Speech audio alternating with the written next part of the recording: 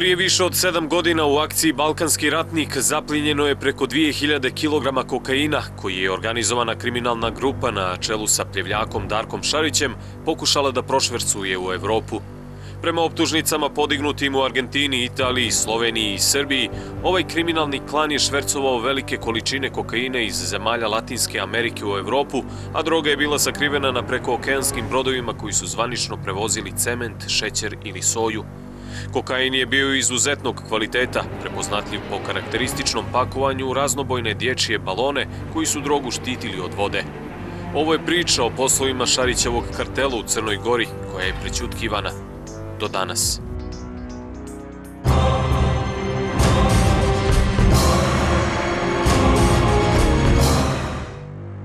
Ušuškana u Boki Kotorskoj nalazi se Luka Risan, Njen dugogodišnji vlasnik je bio bliski saradnik Darka Šarića, Dragan Dudić, zvani Fric. Sve počinje davne 2000. godine, kada je morsko dobro izdalo Luku Risan Dudićevom Bastion Komercu. Godinu kasnije Dudić dobija kredit za rekonstrukciju luke od Crnogorskog fonda za razvoj i ona ubrzo počinje sa radom. Posao cvjeta. U luku dolaze brodovi iz Grčke koji gotovo isključivo donose cement za kotorsku kompaniju Interdepo koja kasnije postaje vlasništvo Dudića. Brodovi koji su dolazili u Dudićevu luku su imali čudne puteve koji izazivaju ozbiljne sumnje. Nažalost, pokazalo se ništa više od toga – Početkom 2005. godine u luku plovljava brod Godfather pod zastavom Sjeverne Koreje sa 1110 tona riže iz Južne Amerike. Riža je ukucana na Godfather u državi Surinam. Odatle brod prvo pristao u špansku luku Ceuta, iz koje zatim dolazi u Risan. Godfather mijenja ime u Perast, ali zadržava sjevernokorejsku zastavu. U toku 2005. godine taj brod je dolazio u Risan još šest puta, svaki put nosići cement za istu firmu iz grčke luke Volos.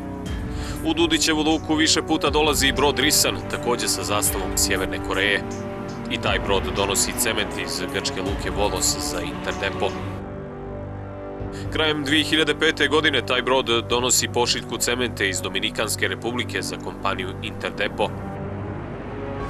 Brod prvo uplovljava u špansku luku Ceuta, u koju je dolazio i Godfather kada je donosio rižu iz Latinske Amerike, pa tek onda dolazi u Risan. Po dolasku u luku na taj brod upadaju specijalci crnogorske policije, jer su navodno imali dojavu da je na brodu droga. Policija se nikada nije zvanično izjasnila o rezultatima potrage, a ni Dudić, koji je prethodno obećao da će se oglasiti nakon što, kako je rekao, policija obavi svoj posao. Nakon tog pretresa, prema zvaničnim podacima, ovaj brod u Dudićevu luku ponovo dolazi početkom 2006. i krajem 2007. Oba puta bez tereta. Dokumenta do kojih je došao istraživački centar Mansa pokazuju da je brod Risan, registrovan u sjevernokorejskoj luci Vonsan, bio u vlasništvu Bastion Komerca, kompanije Dragana Dudića Frica. Prije Bastiona vlasnik broda je bila kompanija iz Paname, Transatlantic Marine. Mans je otkrio da su direktori te panamske firme bili Smiljan Samarđić, prijatelj i poslovni saradnik Dudića i njegova supruga. Risan je kasnije prodat kompaniji iz Sirije, čiji vlasnici su ostali nepoznati. Prema pisanju medija, i brod Perast je bila zakupila jedna od Dudićevih kompanija, Bastion Shipping, od nepoznate firme iz Paname. Više očevidaca nam je potvrdilo da je remont tog broda rađen u Tivatskom arsenalu, Međutim, ni jedan međunarodni registar ne sadrži podatke o vlasnicima broda sve do 2006. godine kada je prodat kompaniji iz Libana. Pored Grčke, Crne Gore, Surinama i Dominikanske republike, Fricovi brodovi su plovili u Hrvatsku, Sloveniju, Albaniju, Italiju, Španiju, Holandiju, Francusku, Veliku Britaniju i Švedsku. Istraživački centar Manse je došao do podataka da je on preko kompanije Bastion Commerce bio naručio izgradnju još dva teretna broda u brodogradilištu u Šangaju, koji su trebali da budu završeni 2011. odnosno 2012. godine. Posao nije realizovan jer je Dudić ubijen 2010. godine u Kotoru. Nekoliko mjeseci ranije Srpsko tužilaštvo je proširilo istragu i na Dudića koga opisuju kao jednog od kreatora kriminalne organizacije koja je nabavljala kokain iz Južne Amerike, transportovala ga preko okeanskim brodovima i prodavala ga u Evropi. Podaci srpskog tužilaštva za organizovani kriminal govore da je upravo on obezbijedio finansijska sredstva i logistiku za organizaciju transporta preko dvije tone kokaina koji je zaplinjen u Urugaju u oktobru 2009. godine. Sredinom 2009. predsjednik Crne Gore Filip Vujonović je pomilovao Dudića kada je bio osuđen na zatvorsku kaznu zbog prebijanja sugrađanina. Takvu odluku Vujanović je donio nakon pozitivnog mišljenja tadašnjeg ministra pravde Miraša Radovića, a suprotno stavu Crnogorskog vrhovnog državnog tužilaštva, koje je smatralo da molbi za pomilovanje ne treba udovoljiti. Ja sam imao pozitivno mišljenje e, ministra pravde, utemeljeno na pozitivnom mišljenju Centra za socijalni rad, na temelju zdravstvenog stanja e, unutar familije i na temelju procjene da to zdravstveno stanje zavređuje da se da pozitivno mišljenje za tu molbu za pomilovanje. Dakle, vjerujte mi da sam taj predmet gledao kao svaki drugi. Poznanstvo predsjednika države i osumnjičenog za prekookeanski šverc kokaina seže još iz 2001. godine, kada je Vujanović, kao tadašnji premijer, svečano otvorio Dudićevu luku. Nekoliko godina kasnije na pitanje da li su ga bezbjednostne službe obavijestile da je ovaj kotoranin pripadnik kriminalnog klana, Vujanović je odgovorio odrečno. Tačno je da sam ja bio na otvaranju ove luke, tačno. Tačno je da sam bio po predlogu i uz učešće tadašnjeg ministra pomorstva i saobraćaja gospodina Kalamperovića, koga veoma cijenim.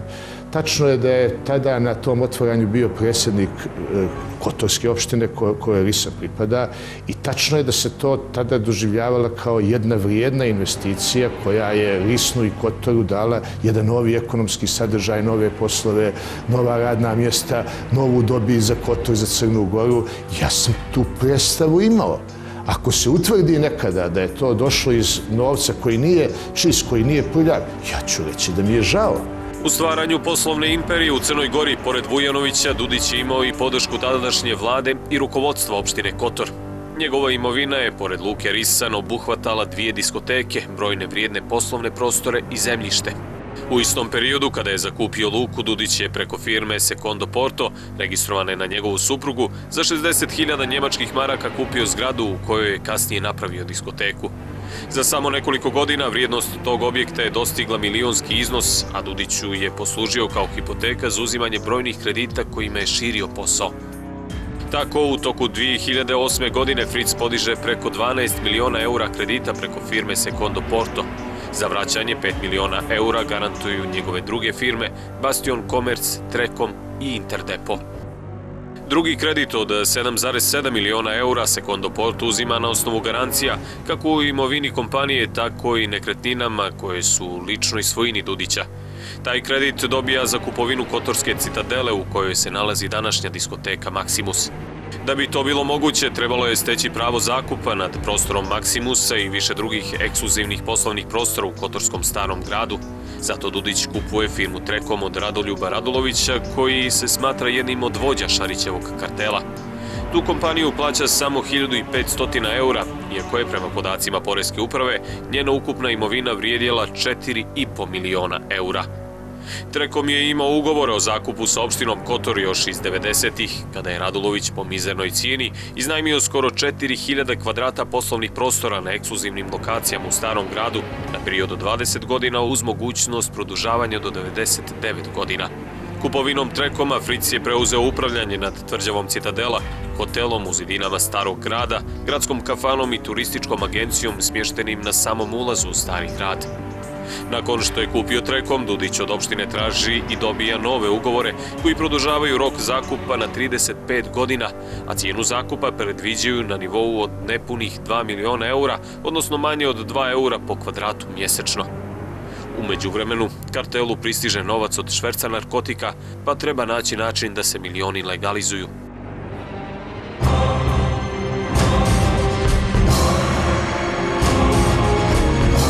U toku 2009. godine Fritz je upumpavao novac u svoje i Šarićeve firme preko offshore kompanija.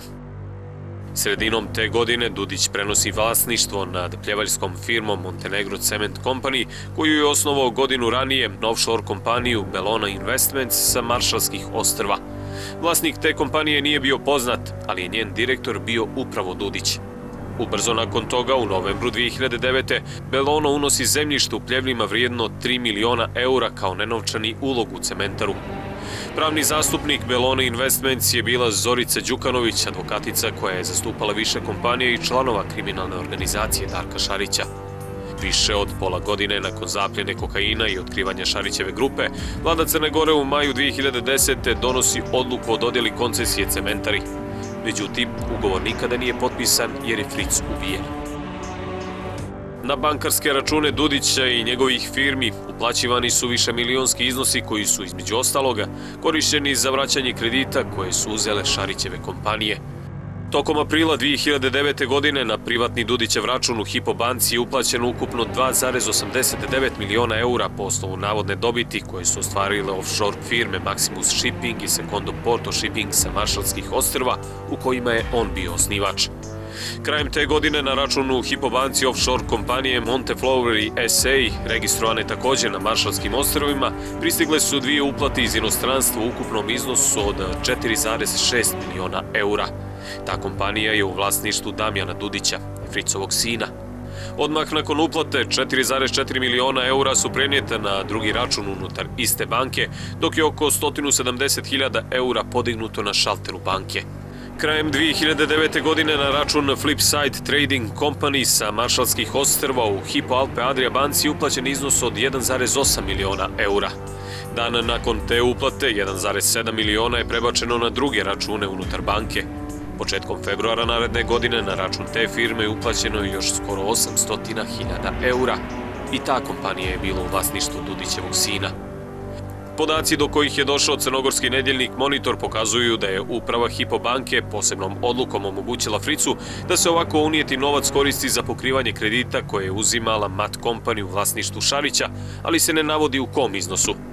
Međutim, podaci iz crnogorske optužnice za pranje novca pokazuju da Mat Company je imala tri kredita u ukupnom iznosu od 7,84 miliona eura, a oko 2 miliona je vraćeno iz depozita koji su Jovica, Lončar i Darkov brat Duško Šarić položili u Hipo banci preko offshore firme Mateniko. Firma Mateniko je prema istrazi u Srbiji intenzivno korišćena za pranje novca, a u toku 2009. godine je bila u upravljačkoj strukturi pljevaljske Mat Company.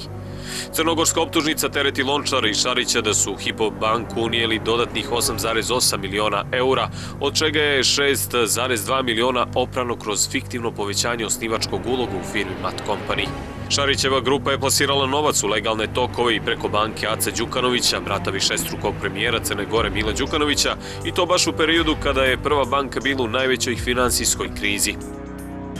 Da je Darko Šarić uživao poseban tretman u banci braće Đukanović pokazuje izvještaj Centralne banke Crne Gore o kontroli poslovanja Prve banke do kojeg je došla regionalna mreža istraživačkih novinara, a u kome se navodi da je ta banka u poslovanju sa Šarićem kršila zakon o sprečavanju pranja novca, ali i sobstvena pravila i dobru bankarsku praksu.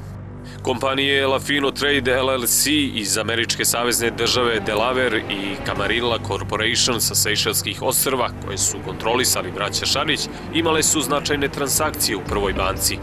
Lafino Trade se pominje i u srpskoj optužnici kao kompanija preko koje je Šarić plasirao novac od kokaina u Srbiju i Bosnu i Hercegovinu. Ta firma u maju 2008. godine deponuje 6 miliona eura na račun u prvoj banci i time postaje jedan od većih depozitora u vrijeme kada je banka bila u krizi. Kontrola Centralne banke pokazuje da je Lafino bio među deset najvećih po obimu prometa u banci, dok je drugim deponentima plaćana kamata od 5 do 8 odsto, firma Lafino dobija samo 1,5 odsto. Jedini depozitor sa tako malom kamatnom stopom je bio vlasnik banke Acu Đukanović. Podrška je očito bila obostrana, jer se mlađi Šarić sumnjiči da je preko računa kompanije Camarilla Corporation u prvoj banci oprao 7,4 miliona eura. Njegovo suđenje je otkrilo da Prva banka nikada nije prijavila Agenciji za sprečavanje pranja novca niti jednu sumnjivu transakciju offshore kompanija Braće Šarić, što je u svom svjedočenju potvrdio tadašnji direktor Predrag Mitrović. Stevan Dojčinović, autor knjige o Šariću, objašnjava da je taj kartel uglavnom prao novac kod kuće. Većina novca koja je zarađena od droge se praktično prala preko offshore firmi, koje su uglavnom bile osnovane u američkoj državi Delaware, a onda vraćene na Balkan. Znači, Šarić nije se mnogo rasplinio po svetu da ulože novca, on je većinu novca stvarno hteo da donese kući u Srbiji i Crnogoru. Znači, tu je većina novca završena. Pored toga, Prva banka je u aprilu 2009. godine izdala potvrdu da offshore kompanija Nova Star LLC iz Delavera ima najmanje milion eura deponovan na svom računu. Vlasnik te firme je druga offshore kompanija, takođe iz Delavera, Nikomat LLC, čiji su osnivači sestra Darka Šarića, Danijela i njegov tadašnji bliski saradnik Nebojša Jestrović, koji je u Srbiji optužen za pranje novca od šverca kokaina. Ta firma je Šarićima poslužila za osnivanje istoimene crnogorske kompanije Nova Star CG, sa kojom su namjeravali da dođu do vrijednog zemljišta Budvanskog futbolskog kluba Mogren uz pomoć direktora kluba i prvog čovjeka Budvanskog DPS-a Bora Lazovića. Dogovor između Lazovića i Šarićevih ljudi je podrazumijevao razmjenu zemljišta u kojoj bi Šariću pripale vrijedne parcele na samoj obali, dok bi gradski stadion bio prebačen u zaleđe Budve. U tu svrhu je u martu 2009. formirana kompanija Nova Star Investment CG, koju su činile Nova Star CG sa 75% vlasništva, Amson Enterprise Montenegro sa 20% i futbalski klub Mogren sa 5%. Osnivač Amsona nikada nije bio poznat javnosti jer se krio iza istoimene kiparske kompanije koju je osnovala druga kompanija sa britanskih djevičanskih ostrva. Prema riječima Bora Lazovića, kompletan posao je dogovoren početkom 2008. godine, što se prema podacima iz srpske optužnice protiv Šarića poklapa sa periodom kada je počeo da u Crnoj Gori plasira novac od kokaina. U oktobru 2009. godine u blizini Urugvajske obale policija je zaplijenila preko dvije tone Šarićevog kokaina, a on je početkom 2010. napustio Crnu Goru uoči raspisivanja Interpolove potjernice. Upravo u tom periodu kompanija Nova Star CG se povukla iz posla sa Mogrenom i prenijela svoj udio na panamsku kompaniju Adriatic Overseas Holding. Konačno, Boro Lazović je 2012. godine objavio da je inostrani partner odustao od cijelog projekta jer je riječ o investiciji za koju nisu obezbijedili novac. Međutim, osoba koja bi trebalo da zna ko se krije iza panamske firme Adriatik je bivši ministar poljoprivrede Petar Ivanović.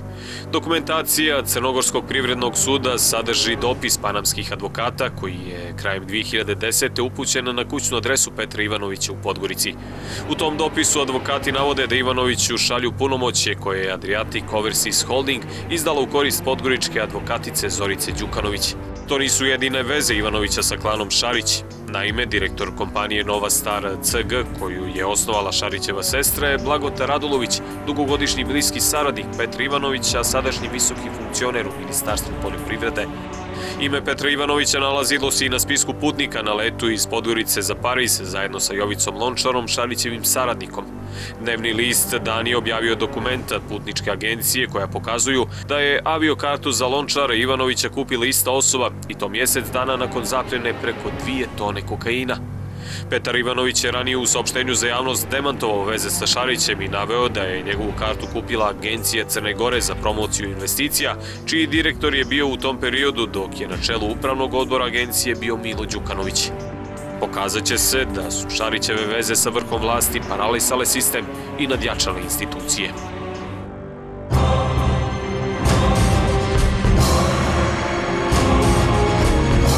Nakon zapljene kokaina u Urugvaju, Šarić dolazi u Pljevlja, odakle nestaje u januaru 2010. pošto je specijalno tužilaštvo u Beogradu otvorilo istragu protiv njega.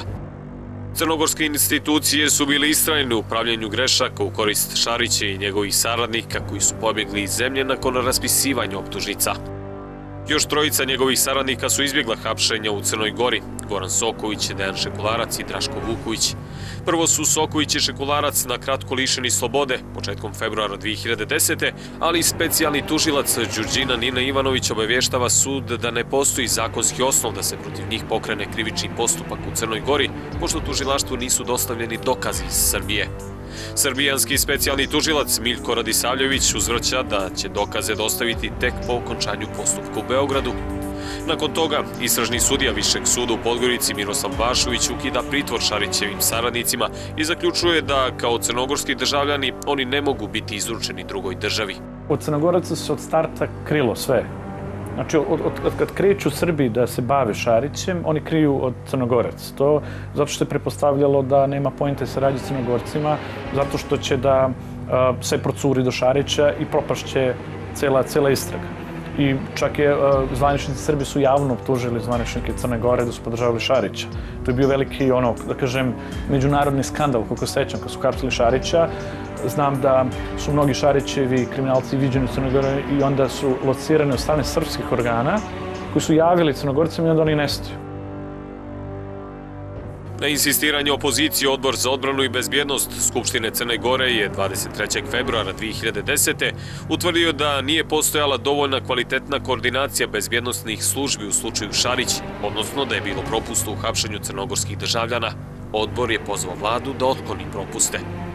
Tek sedam mjeseci kasnije, krajem oktobra 2010. godine, konačno je potpisan sporozum o ekstradiciji između Crne Gore i Srbije, koji je omogućio hapšanje i izručenje Šarićevih saradnika. Ipak Soković, Čekularac i Vuković nestaju iz Crne Gore prije nego što je policija došla da ih ukapsi. Agencije za nacionalnu bezbjednost i Ministarstvo unutrašnjih poslova nisu vidjeli Šarića kao prepreku nacionalnoj bezbjednosti, pa su se obavezali da će mu dati crnogorsko državljanstvo mjesec dana nakon pokretanja akcije Balkanski ratnik i zapljene kokaina. Darko Šarić opet, e, ali da, on potiče Crne Gore i nekako se, se vidi kroz ceo razvoj, razvoj njegove priče da je najviše ima podrške u Crnoj Gori pre svega što se tiče i političke elite, ali da? Tako da i on, i on samo seća Crnu Goru kao nekako najbezbednije mesto da može da bude. Tako da u trenutku kada pada uh, ona silna droga, kada preko onih dve tone kokaina je zaplenjeno u Južnoj Americi, kada krenu da hapšu se bitne članovi njegove druke, grupe, pored ostalog su hapsili i Željko Vujanovića, koji je bio njegov brat od tetke, koji je bio jedan od organizatora. Te priče Šarice sklanja i Srbiju Crnogoru. Samo problem koji on imao, i to je najvjerovatnije najveća greška koju on napravio, što se odrekao crnogorskog državljanstva i dobio srpsko. To mu je bila greška zato što u nekom drugom slučaju bi praktično mu se sudilo u Crnoj Gori i mislim da bi bio u manjem problemu nego u kojem je sad. I on to sam svata i tako da praktično kada se on sklanja u Crnogoru, kada kreće hapšenje, on pokušava na brzinu da povrati nekako crnogorsko državljanstvo. Šarić se crnogorskog državljanstva odriče 2005. godine kada dobija srbijansko. Četiri godine kasnije, 2009. on ponovo traži crnogorsko državljanstvo. MUP Crne Gore Šariću daje garanciju da će dobiti državljanstvo ukoliko dostavi otpust iz državljanstva Srbije. Takvu odluku MUP donosi na osnovu pozitivnog mišljenja Agencije za nacionalnu bezbjednost. Aktualni premijer Duško Marković, koji je tada bio na čelu ANB-a, nije želio da odgovori na pitanje da li smatra da je obaveštajna služba pogriješila. U intervju datom televiziji B92, bivši premijer je pravdo odluku državnih organa. Crnogorska policija samo radi posao u skladu sa zakonom ove države, mislim da je taj zakon recimo na snazi identično i u Srbiji i u drugim državama. U članu 8 zakona o crnogorskom državljanstvu stoji kako se stiče državljanstvo prijemom i tamo se tačno kaže da je eliminatorni razlog za sticanje prijavlj, državljanstva, dakle pravosnažna sudska presuda kojom se to lice osuđuje na kaznu zatvora bezuslovno više od godinu dana. Pošto u tom trenutku Darko Šarić nema pravosnažnu sudsku presudu dakle na period od više od godinu dana, vi ćete vjerovatno naići na razumijevanje ljudi koji žele da se bespravno vodi pogrom. U stavu 5 člana 8 zakona o državljanstvu, koji je citirao Đukanović, zaista stoji uslov vezan za pravosnažnu sudsku presudu. Međutim, u stavu 7 istog člana navodi se da se državljanstvo može dati samo ukoliko ne postoje smetnji iz razloga bezbjednosti. Dokument obavještajne službe pokazuje da su braća Šarić u evidenciji ANB-a bila tretirana kao bezbjednostno interesantne osobe još od 2006. godine. Šarić u januaru 2010. predaje zahtjev za ispis iz srbijanskog državljanstva, ali ga ne dobija jer se ubrzo našao na potjernici Interpola. Zato mu se sudi u Srbiji, a ne u Crnoj Gori kao njegovom bratu Dušku. U Crnoj Gori je u toku višegodišnje suđenje Šarićevom bratu Dušku. Već je doneseno šest presuda, a čeka se nova odluka apelacijonog suda. Optužbe za šverc narkotika su nestale. Crnogorsko tužilaštvo je 2011. godine na osnovu dokaze iz Italije optužilo Duška Šarića da je dio kriminalne grupe koja je švercovala kokain iz Južne Amerike za Evropu. Duška Šarić i Jovicu Lončara specijalno tužilaštvo teretilo je i da su preko Dudićeve Camarilla Corporation sa Sejšelskih ostrava, Mateniko LLC iz Delavera i Pljevaljske Mat Company oprali više od 21 milion eura stečenih švercom kokaina preko Prve banke i Hipo Alpe Adria banke. Sudski postupak traje pet i po godina. Donesene su tri presude Višeg suda u Bijelom polju i tri presude apelacijonog suda. Već prvom presudom Višeg suda Šarić je oslobođen za šverc kokaina, ali ona ukinuta jer je prema nalazima apelacionog suda tužilaštvo optužilo Šarića za krivično dijelo koje nije postojalo u zakonu. Drugom presudom Viši sud je osudio Šarića i Lončara na manju zatvorsku kaznu nego u prvoj. I tu presudu apelacion nije ukinuo, Viši je donio i treću, koju je apelacioni ponovo ukinuo. I konačno, Viši sud nema pravo da odlučuje po četvrti put, pa će odluku donijeti apelacioni. Umeđu vremenu, optužbe za šverc droge su isparile, pa je ostao samo dio vezan za pranje novca. Krivični predmet protiv okrivljenih Duška Šarića i Jovice Lončara zbog krivičnog dijela pranja novca nalazi se u radu pred apelacijnim sudom Crne Gore. U ovom momentu Vijeće apelacijenog suda nije zakazalo pretres u konkretnom krivičnom dijelu iz razloga što je uputilo zamolnice državama Norveške i Kipra. Nakon što se postupi po traženim zamolnicama, Vijeće će biti u zakonskoj mogućnosti da odredi datum nastavka pretresa. Portparolka nije mogla da kaže koji se dokazi očekuju, a na osnovu dosadašnjeg postupka nije isučeno da će i ovaj slučaj biti okončan kao i većina predmeta organizovanog kriminala koji se završavaju blagim kaznama ili osuđujućim presudama nakon višegodišnjeg prebacivanja između viših i nižih sudova. Advokat Veselin Radolović, koji je analizirao sudske predmete organizovanog kriminala, upozorava da greške pravosuđa mogu skupo da koštaju. Apelacijani sud je tu presudu ukinuo, a u dijelu oslobađajućem je preinačio, ali na način koji je povoljniji za optužene, jer je umjesto, za razliku od višeg suda, apelacijani sud utvrdio da u konkretnom slučaju e, je tužilaštvo sačinilo najblaže rečeno neprofesionalnu i nestručnu optužnicu. Stavilo je na teret E, okrivljenima krivično djelo koje u momentu izvršenja nije postojalo. To je, podsjetiću, krivično djelo stvaranje kriminalne organizacije koje je u krivični zakonik uvedeno izmjenama zakonika iz 2010. godine. E, radnje izvršenja je opisana da se u optužnici da se dešavala ranije 2007. čini mi se do 2009. i na taj način apelacijoni sud je oslobodio ove okrivljene po najblažem mogućem, e, najpovoljnijem osnovu za njih. Šta to znači? Za ta krivična djela više im nikad niko ne može suditi. Specijalno tužilaštvo koje zastupa optužnicu nije željelo da govori o njenoj potkrepljenosti dokazima. Na pitanje da li je problem u dokazima tužilaštva ili načinu na koji ih cijene sudovi, portparolka Vrhovnog državnog tužioca Dragana Unković šturo je odgovorila. Ne komentarišemo presude. Odavno se međutim komentariše da je Crna Gora bila sigurna luka balkanskih ratnika, Upravo zbog Šarićevih veza sa politikom i biznisom, državne institucije nisu spriječile njegov klan da milione od kokaina opere u Crnoj Gori. Miris njegovog novca osjećao se od banaka preko lokalnih samouprava pa sve do vlade. Zato ne čudi što policija i tužilaštvo nikada nisu ispitali porijeklo ogromne imovine koji su članovi tog klana stekli u Crnoj Gori i što istrage protiv pomagača u institucijama nikada nisu otvorene. Dok god je tako, moći ćemo samo da pretpostavljamo dokle sežu pipci kokainske hobotnice koja je prijetila da zarobi državu. Da li je to i uspjela, pitanje je koje još čeka odgovor.